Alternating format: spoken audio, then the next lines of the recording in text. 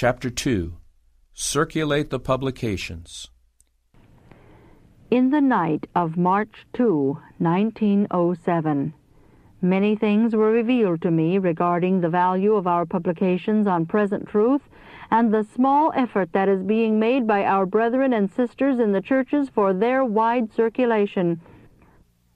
I have been repeatedly shown that our presses should now be constantly employed in publishing light and truth. This is a time of spiritual darkness in the churches of the world. Ignorance of divine things has hidden God and the truth from view. The forces of evil are gathering in strength. Satan flatters his co-workers that he will do a work that will captivate the world. While partial inactivity has come upon the church, Satan and his hosts are intensely active.